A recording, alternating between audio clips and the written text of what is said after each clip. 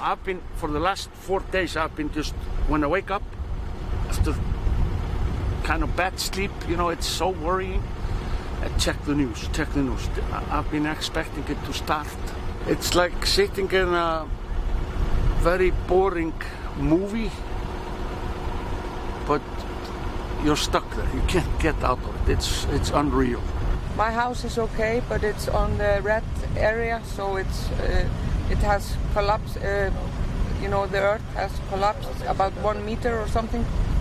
So uh, the lava, uh, you know, is under our house. So I'm not sure.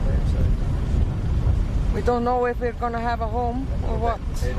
I'm not quite sure what I'm going to see. Uh, hopefully, I, my house is okay. To be honest, I'm not that excited to go back there uh, because I I don't think we'll ever feel safe after knowing what has happened there. Thanks for watching. Stay updated about breaking news and top stories on the NBC News app or follow us on social media.